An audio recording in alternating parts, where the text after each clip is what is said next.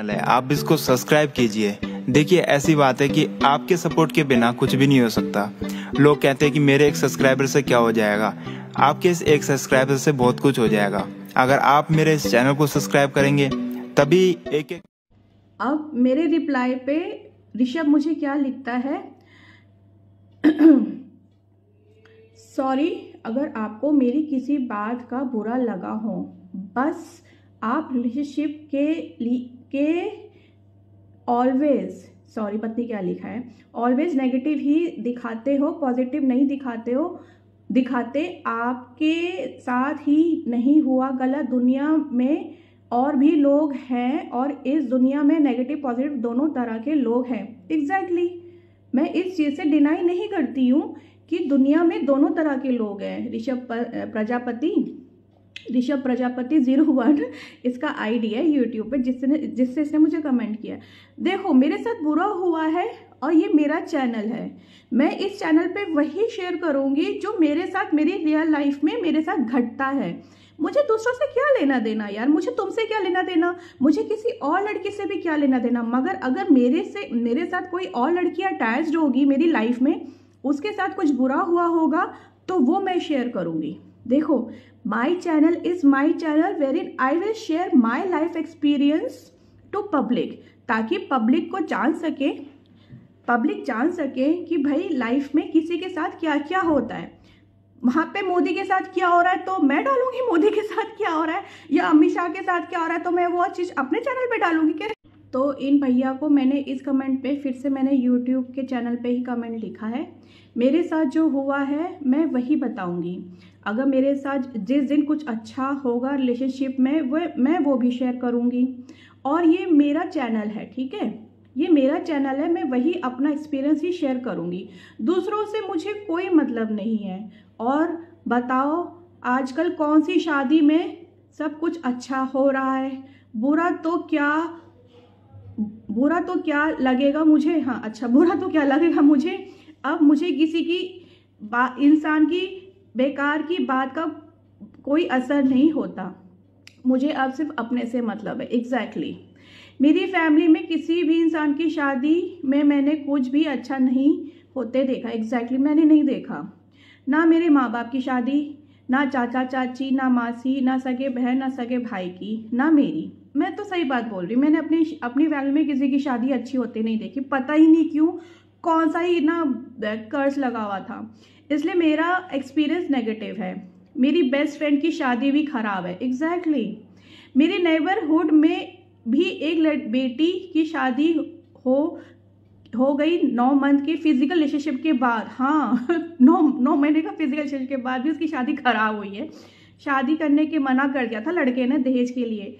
आपका घर कुछ एंड माई रिप्लाई कंटिन्यूस मैं लिखती हूँ, आपका अगर कुछ शेयर करने के लिए है तो आप अपना चैनल शुरू करें और बताएँ पब्लिक को। किसने रोका है आपको? अपने विचार आप भी अपने एक्सपीरियंस के साथ शेयर कर सकते हो। क्या मैंने आपका नाम लिया अपने किसी भी ब्लॉग में जो आपको इतना चुभ रहा है मेरी बात? अगर आपको मेरी बात इतनी चुभ रही है, इसका मतलब आप भी सेम टाइप बॉयज़ हो जो मेरा एक्स था। वो शुरू के पाँच साल तो बहुत अच्छा था बट बेटा होने के बाद सास ने हस्बैंड को मेरे अगेंस्ट करने की साजिश करी। ये फैक्ट है। आपको बुरा इसलिए लग रहा है क्योंकि यहाँ मैंने ससुराल वालों की पोल खोल के रख दी है। तो मुझे ऐसा लग रहा है ना, ये जो बंदा है ऋषभ प्रजापति, या तो ये लड़का मेरे एक्स की तरह ही है। He is same type C type C charger जो मेरा हस्बैंड है। और मैं सही बताऊँ, शुरू के पाँच साल तो मेरा हस्बैंड ठीक ठाक था। मतलब जब तक बेटी थी ना, बेटी तक हमारे घर में सब कुछ ठीक था। जब बेटा हुआ ना तो मेरी सास ना बहुत चिढ़ गई मुझसे, क्योंकि बेटा हो गया, अब ये मेरा बेटा दूसरा हो गया। क्योंकि इसकी तो तीन बेटियाँ के बाद दो बेटे हुए थे। तो इसको, इसके ससुराल वालों ने बहुत दबा के रखा था। ये तो अपनी कहानियाँ भी बताती थी हमी, हमारी सास। कि उसका ससुर उसे बहुत गाली देता था। फिर बेटी हो गई, फिर बेटी हो गई। बहुत बहुत गालियाँ पड़ती थी देखो यार बेसिकली मेरा जो यूट्यूब चैनल है, ये मेरी लाइफ से रिलेटेड होगा। To be very frank enough किसी को गाड़ में चुभे, किसी के गाड़ में मिर्ची लगे, आइल्स हो जाए आई गिव अ डैम मेरा वीडियो चैनल है about my life about my experience मैं कहाँ घूम रही हूँ, मैं क्या खा रही हूँ, मैं आज कहाँ गई, वहाँ पे क्या हुआ, मेरे को किस चीज़ से क्या प्रॉब्लम है, और आपको किस चीज़ से क्या प्रॉब्लम हो सकती है, मैं हेल्थ टिप दूँगी, मैं हेयर डी बताऊँगी, मैं स्किन डी बताऊँगी, मैं आपको बहुत सारी रेमेडीज़ बताऊँगी, क्योंकि ये मेरा चैनल है। मुझे किसी से क्या लेना देना यार? Who are you man and Prajapati zero one. Rishabh Prajapati zero one, उसकी आईडी है। और ऋषभ प्रजापति ज़ीरो वन, अगर आपकी गाड़ में दम है तो आप अपना यूट्यूब चैनल शुरू करें और आप फिर ये बताएँ कि लड़के कैसे अच्छे होते हैं। मैं तो अपने अपने वीडियो में ब्लॉग में यही बताऊँगी कि शादियों में क्या क्या स्कैम है और मेरे साथ 2.5 लोगों ने एग्री करा है। आप मेरा एक ब्लॉग देख लेना, उसके व्यूज़ है 2.5 व्यूज़ ठीक है? मेरे एक स्कैम वीडियो के। तो इसका मतलब ये नहीं कि मैं यहाँ पे बैठ के बकचोदी कर रही हूँ, बकवास कर रही हूँ, हवा में कहानी सुना रही हूँ, क्योंकि मोस्ट ऑफ़ द लड़कियों के साथ ये स्कैम होते हैं। वो उनके भाई हैं पेरेंट्स हैं, जो लोग लाइक कर रहे हैं, ठीक है? अभी तू, वो तो अशोक है। मैं फिर से कहती हूँ बॉयफ्रेंड तो मैं बनाऊँगी, क्योंकि बॉयफ्रेंड बनाने से ना क्या होता है, लड़कों की कितनी तरह की मेंटालिटी होती है यार। सौ तरह के आदमी नहीं होते हैं। दस तरह के आदमी होते हैं, उसमें एक लाख तरह की मेंटालिटी होती है लड़कों की। तो इन सब चीज़ों से ना मुझे लड़कों की मेंटालिटी पता लग रही है और एंड में निष्कर्ष यही आ रहा है कि लड़की से कोई शादी नहीं करना चाहता, अपने रिस्क पे। वो सब ये बोलते हैं, हम शादी करेंगे माँ बाप की मर्ज़ी से। भाई, इतनी रिस्क कौन लेगा? लड़की का? कल को कुछ होगा तो हम माँ बाप के सर पे मर देंगे। तुमने रिश्ता निकाला था, तुम्हें लड़की लेके आए थे। अब तुम जानो, लड़की वाले जाने, हम तो जा रहे हैं। राम राम जी। और तुम देखो तुमने क्या करना है।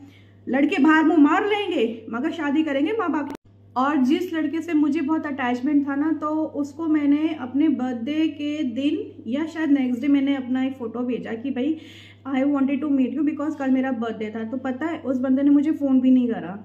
बस एक ना व्हाट्सएप पे हैप्पी बर्थडे करके छोड़ दिया। तो भाई, मैं भाई please don't girls don't fall for such boys मैं सही बोल रही हूँ don't fall for such boys ये लड़के ना सिर्फ़ मतलब ही होते हैं सेक्स के भूखे।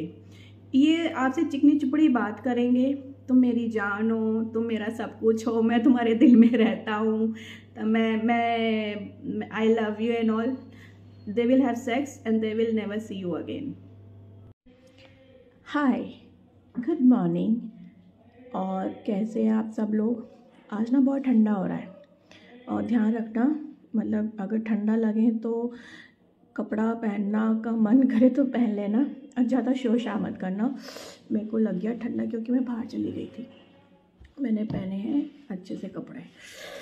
ठीक है? और कल रात को मुझे बहुत ठंड भी लग रही थी तो मुझे समझ में आ गया कि ठंडा हो रहा है। आज ना मैं एक रिव्यू करने वाली हूँ। मेरी एक ब्लॉग थी कि स्कैम्स ऑल स्कैम्स की मैंने एक फाइनल वीडियो डाली थी।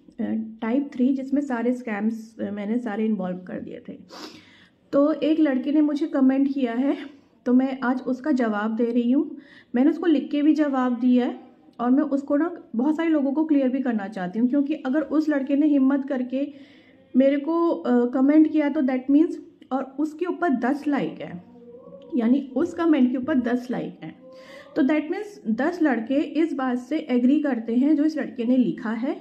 बहन, आपको बहुत नेगेटिव हो। लड़के के साथ भी बुरा होता है। आपने बोला, लड़कियाँ हमेशा सही होती हैं। खुद को देखो, आपके साथ बुरा हुआ। आप आज तक उन लोगों से अलग होके भी उनकी बुराई कर रहे हो और वो लोग बहुत अच्छे, आगे बढ़ गए होंगे। लाइफ में आप वहीं के वहीं हो।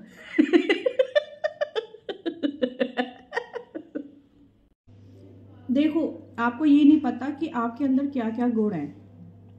मेरे अंदर बहुत सारे गुण हैं। अभी मैं थोड़ी सी मोटी हो गई सर्दी में, क्योंकि ना घर में बैठी रही। अभी मैं रनिंग शुरू कर दूँगी। डाइट मेंटेन करूँगी, बहुत अच्छी फ़िज़िकल हो जाएगी। विद इन अ मंथ मैं आपको दिखाऊँगी। मैं आपको ए टू जेड अपने अंदर फ़िज़िकल इम्प्रूवमेंट भी दिखाऊँगी। तो आप समझ जाना कि जो लड़की बोल रही है, सही बात है। सेकेंड जॉब के लिए अप्लाई कर रही हूँ। ऐसा नहीं है जॉब के लिए अप्लाई नहीं कर रही हूँ। मैंने इंटरव्यू भी दिया है, मेरे दो राउंड हो गए हैं। जॉब तो मैं करूँगी करूँगी।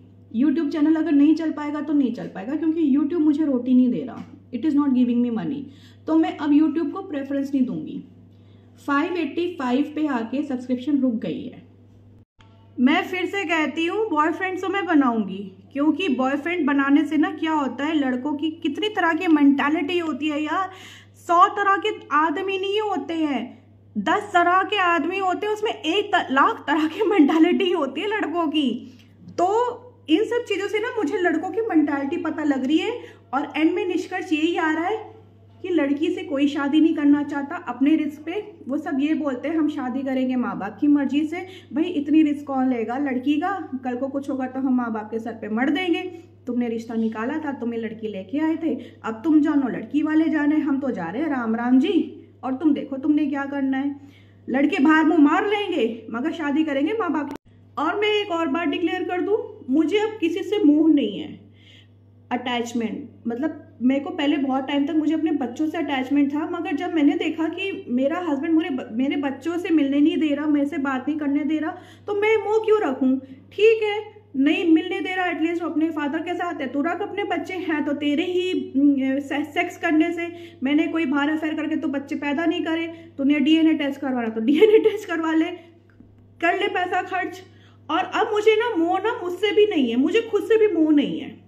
अगर मुझे किसी को ख़त्म करने के लिए मुझे खुद को ख़त्म करना पड़ेगा ना, अपनी जान पे खेलना पड़ेगा तो मैं वो भी करूँगी। तो मैंने ना सब मोह माँ सब त्याग दी है